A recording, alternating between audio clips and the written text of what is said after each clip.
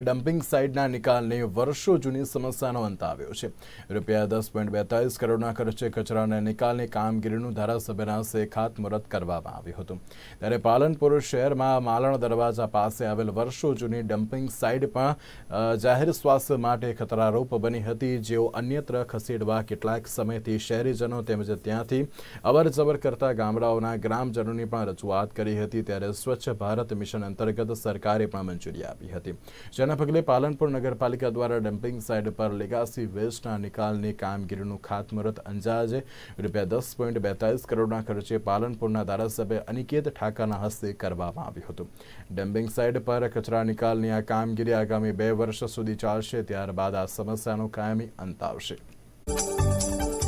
પાલનપુર નગરપાલિકા વિસ્તારમાં આવેલ સ્વચ્છ ભારત મિશન અંતર્ગત ટુ પોઈન્ટ ઝીરોની ગ્રાન્ટ અંતર્ગત વર્ષો જૂની સમસ્યાનો ઉકેલ આવેલ છે, જેમાં આજ રોજ લેગાસી વેસ્ટના નિકાલની કામગીરીનો શુભારંભ કરવામાં આવેલ છે. આ પ્રસંગે ઉપસ્થિત રહેલ સૌ મહાનુભાવોનો હું ખૂબ ખૂબ આભાર વ્યક્ત કરું છું. ઘણા વર્ષથી આ ડમ્પિંગ સાઇડનો પ્રશ્ન હતો અને એમાં અમે રજૂઆત કરી એટલે અનિકેતભાઈ ઠાકર અનિકેતભાઈ ઠાકર સાહેબ અને ડામોર સાહેબ એમના સહકારથી અમને આ પ્રશ્ન સોલ્વ થયો છે અને બધા સાથે સભ્યો મળી અને અમે પ્રશ્નનો હલ કર્યો છે અને શહેરીજનો માટે આ પ્રશ્ન મોટો હતો બધાની રજૂઆત હતી એ માટે આ પ્રશ્નનો હવે હલ થઈ ગયો છે. પાલનપુર શહેરની ઘણા વર્ષોથી એક સમસ્યા હતી કે કચરાના ઢગલા અહીંયા જગ્યાએ ખૂબ જ મોટા મોટા થતા હતા અને ત્યારે આ ડમ્પિંગ સાઇટના ઉદ્ઘાટનથી આ ઢગલા આગામી સમયની અંદર ઓછા થઈ જશે અને આ જગ્યાની અંદર આપણે ખૂબ જ સરસ માહોલ દેખી શકીશું.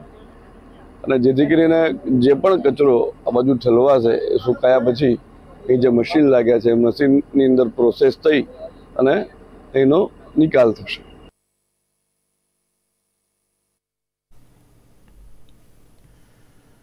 અમરેલી જિલ્લાનો ડુંગર વિસ્તાર વન્ય